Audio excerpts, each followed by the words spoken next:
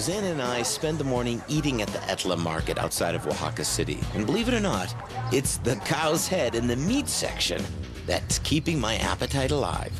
It is the main ingredient for tacos de la cabeza, otherwise known as as head tacos. This uniquely Mexican dish is popular throughout the whole country.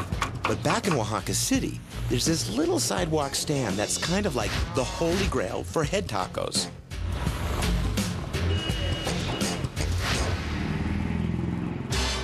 Okay, so this is the most happening place. This is where town. everyone wants to be, right here. This is like great. This is my friend. Hola, Don Mario. And this is Don Mario, Don Mario, right? he's the jefe. He's the main chef, and this is like probably one of the most popular places. This is all beef tacos. Is this expensive? No, you can get like five tacos for 25 pesos. Five tacos for 20, Or so two dollars. Senor, uh, yo quiero, por favor, galleta. I want some cheek, ojo, eye, and uh, what else can you have? Sesos. Sesos, the brains. And the trompa. and the tromba. So nose, eyes. I want the I want the shebang. I want the works. So this right here, this is the taco that Mario has prepared. It's the cachete, it's the cheek, and you can see that inside the meat has been just perfectly minced. When I was um, first thinking about this meal, I was preparing my brain for something a little off-putting.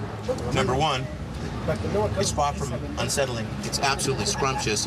And number two, it doesn't taste heavy. It doesn't. There's not a lot of grasa. It's not a lot of fat. No, because it's it's it's cooked in its broth and in vapor. The beauty of this dish is the simplicity in the preparation, which Don Mario has mastered. You see, the whole head is steamed and poached for hours in a single pot until the meat is literally falling off of the skull. The flavors have married, yet the cheek tastes very distinct. So far, I'm sold.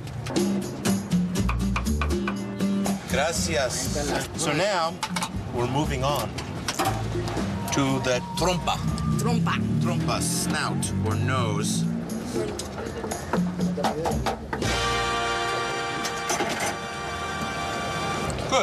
I like it. You're getting this sort of sort of squishy.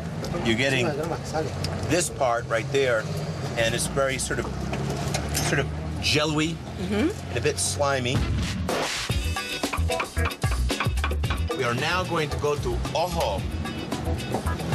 Gracias, senor.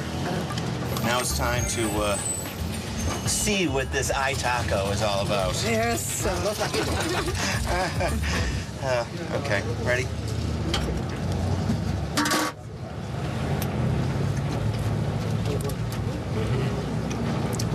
I think what really pulls that together is the pupil. Really good, a little squishy.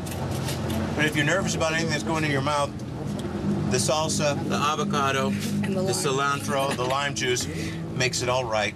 And now we're really gonna wrap our head around this and really understand this because we're going to eat the seso. The seso is the brain.